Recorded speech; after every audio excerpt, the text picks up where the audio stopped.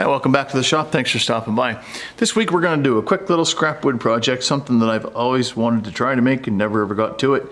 And a little cramped for time this week, and I thought, what can I do that's a nice, simple, fast little project, but something that's still that's interesting that I actually want to do. So we're going to make a wooden whistle. What I've got here is a piece of lace wood. It's 7 eighths of an inch square, and um, I've drilled a hole which is just under a quarter inch through here for a lanyard to tie it up to hang off your, to hang it around your neck or on your wrist, whichever. There's a little pitch change hole that's just under one eighth and that just goes down halfway through. I've cut a notch on a 45 degree just past, just barely past halfway. So I'm not sure what this is going to sound like, um, but we're going to give it a go. So I'm going to hold this in the lathe by using the four jaw chuck. You can do it between centers uh, if you like, uh, but if you want to do it between centers, you're going to have to drill this center hole out on a drill press. Now I'm going to do mine on the tailstock uh, just for time's sake. I've got center marked on this end, so I'm going to put that in my tailstock, the brad point in my tailstock. So I'm just going to leave this loose for right now. I'm just going to slide this up to we're on center right here. All right, so now I know that I'm on center, I can tighten this up.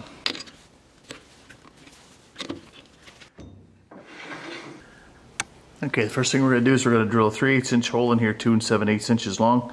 I've got a mark on the back of my um, on the back of my drill bit where I need to stop. I want to give the design credit of this particular whistle to uh, Ernie Conover, who did a video on YouTube about six years ago under the Woodworkers Journal channel.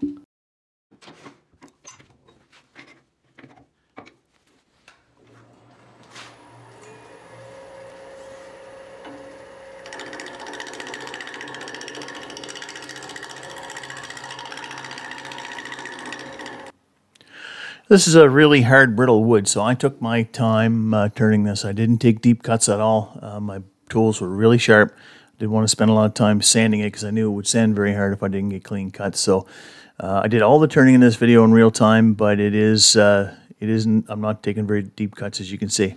So if you were doing this in maple or birch or something a little softer than this with a little bit different grain, uh, this would be like a three minute turn.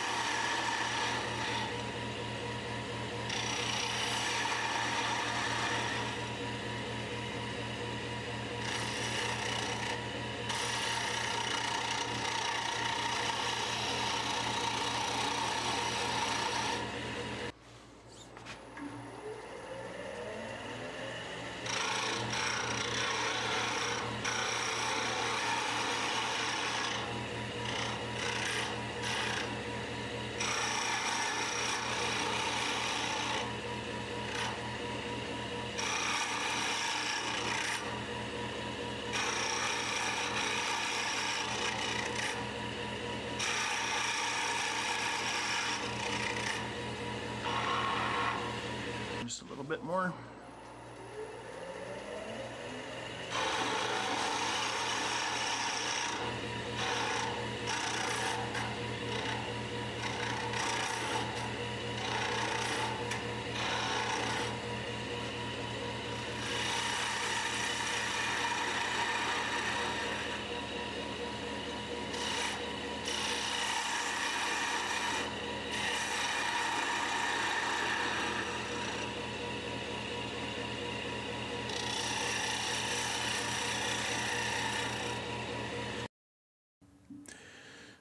And I'm just going to turn a bead on the end for the lanyard to go through, and it doesn't actually need to be a bead, just a little more decorative.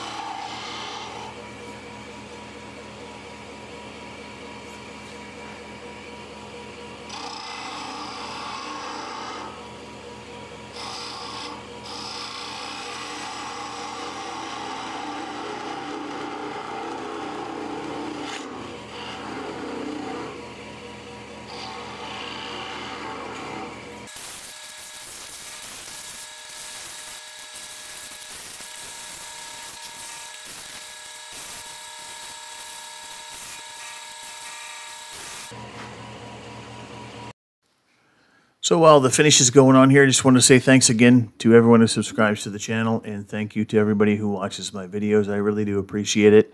If you like what you saw and you haven't subscribed, please do consider doing so. Uh, and leave a thumbs up or thumbs down whether you like the video or not. And, uh, and do leave a comment. I'm going to put some pictures up at the end. They're not very spectacular, obviously, because it's just a little wooden whistle.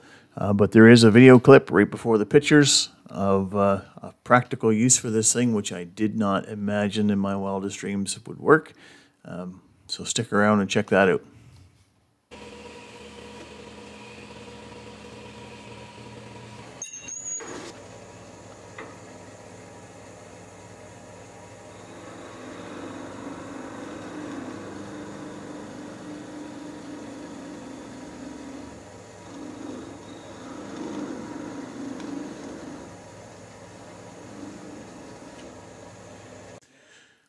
So I put a piece of half inch uh, square walnut in the four jaw chuck here and I'm going to turn it to 3 eighths of an inch round so that it'll fit inside of the hole that we drilled in the end of the whistle.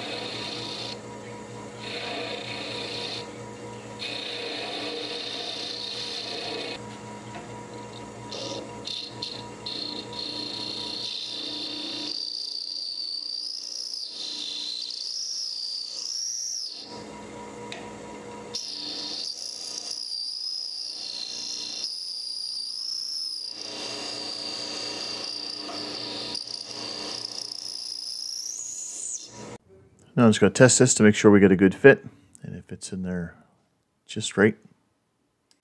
So I took this over to my belt sander and I sanded a flat the full length of the dowel um, and now I've got it fitted so that the end of the dowel is flush with that perpendicular cut that I made in the in the square blank and also flush with the end of the whistle.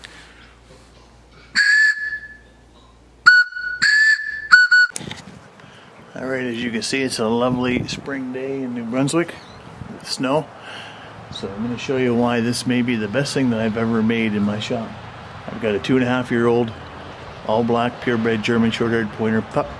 And she only comes when I call her about a third of the time. But with this,